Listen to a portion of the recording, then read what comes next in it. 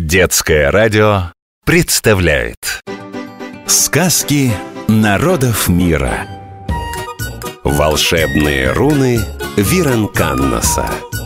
Карело-финские сказки. Если судьба забросит вас на европейский север, вы не сможете миновать хотя бы одного из тысячи тысяч озер страны Финляндии или Суоми, как ее именуют сами финны. Дойдете до берега Черного озера Мусталампи, кликните духа овсяного поля «Ау, Веранканнас!» И если он не будет занят, он обязательно пропоет вам руну, сказку, легенду, историю. Я, например, от него услышала вот такую Саули, Юха и старые сосны – Давным-давно на самом краю Финляндии в древнем сказочном лесу росли две огромные сосны. Были они настолько старыми, что и вспомнить уже не могли, когда появились на свете. Одну звали «Подопри небо», вторую «Зацепи тучу». Как два великана сторожили сосный лес.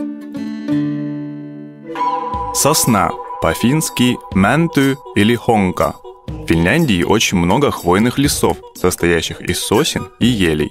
Эйхонка yhdellä lyönnillä kaadu. Сосну одним ударом не повалишь, говорят финны про что-то крепкое и прочное. Неподалеку от сосен, на самом краю леса, ютилась маленькая хижина.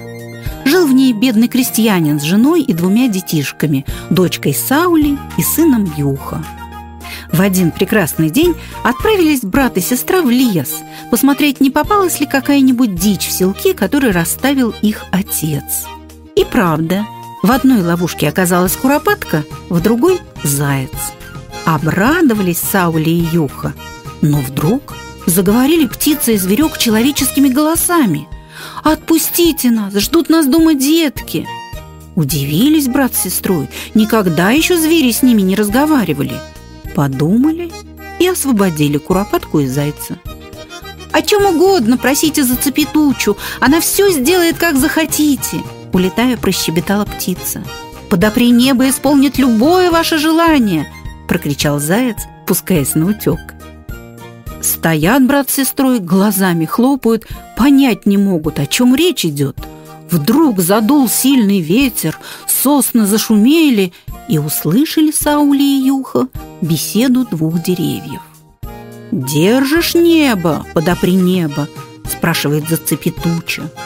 «Держу», – отвечает подопри небо. «Слышишь, Юха?» – говорит Саули. «Это о соснах, оказывается, Куропатка с Зайцем нам говорили». «Точно», – отвечает Юха. «Давай их о чем-нибудь попросим». «Здравствуйте, уважаемые, как поживаете?» – сказала Саули. На финский это переводится так. Терве arvoisat hongat, mitä teille kuuluu? Когда финны приветствуют друг друга, они часто говорят «терве», что значит «здравствуй» или «здравствуйте». Еще это слово значит «здоровый». Поэтому, как и у нас, в Финляндии люди при встрече желают друг другу здоровья. «Здравствуйте, дети!» – промолвила подопри небо. И только собрался Юха попросить подопри небо исполнить желание, как увидел, что по тропинке шагает их отец с огромным топором в руках. «Наконец-то я вас встретил! Буду сосны рубить, а вы ветки домой относить». «Не трогай, отец, деревья!» – заплакала Саули. «Они волшебные!» – просил отца Юха. «Что только не взбредет сорванцам в голову!» – подумал крестьянин.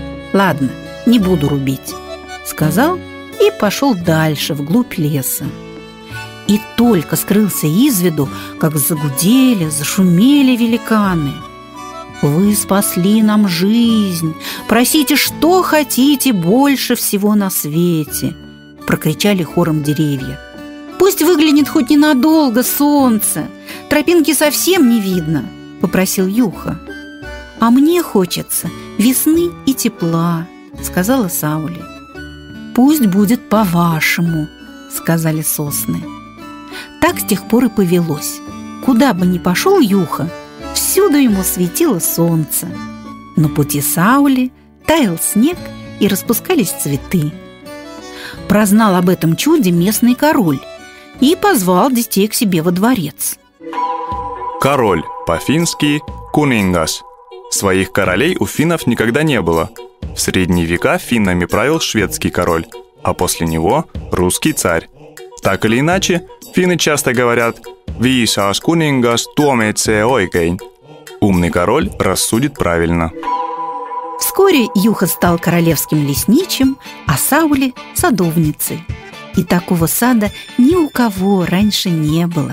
Все в нем цвело и благоухало. Повторяем, запоминаем. Сегодня мы узнали, как по-фински звучат слова «сосна», «хонка» или «мэнту», «король», «кунингас» и приветствие «здравствуйте», как поживаете. «Терве митакулу». Сказки народов мира. Волшебные руны Виранканнаса. Карело-финские сказки.